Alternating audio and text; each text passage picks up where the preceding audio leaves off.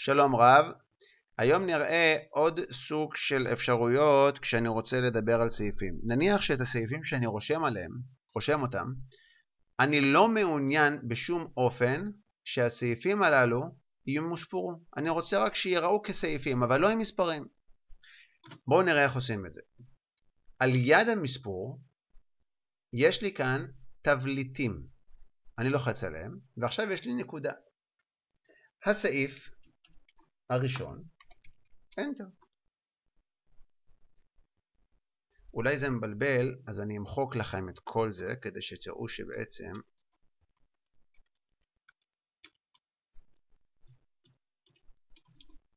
הנה, הסעיף הראשון, Enter. הסעיף השני, Enter.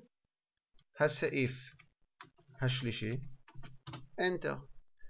אני יכול לעלות בחזרה לכאן כדי לתקן את הטעות, מצוין. הסעיף הרביעי, Enter. הסעיף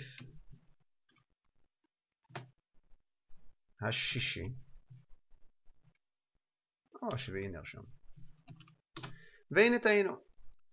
בין הרביעי לשביעי אני רוצה להכניס עוד שניים, את החמישי ואת השישי. אני פשוט עומד בסוף השורה, לוחץ Enter, ורושם הסעיף החמישי,